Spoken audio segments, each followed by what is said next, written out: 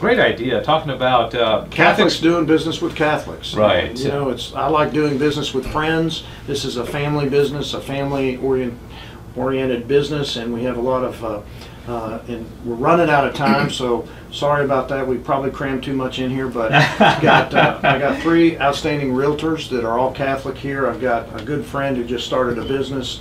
Um, Greg, quickly tell them about uh, your new business and how that helps reach the goal of Catholics doing business with Catholics. And this is Greg Lombard, by the way. Okay, Greg, yeah, why don't you tell our listeners about your business?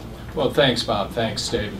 Um, the business I just introduced this week, it's an online resource. It's called localcatholicbusiness.com.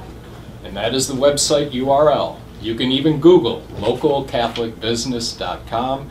It'll take you to a website where you can go ahead and connect with Catholic owned businesses.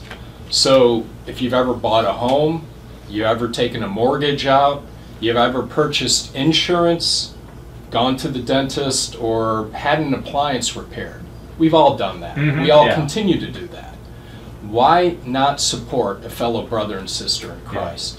So that's what this resource does. It bridges the gap between Catholic consumers and Catholic owned businesses. All right, and the website is localcatholicbusiness.com and uh, Greg Lombard. So this has been up and running for how long now? It's uh, brand new, right? Uh, you, since Monday. still, still has that fresh uh, uh, New website car smell, smell right? on it. You got it.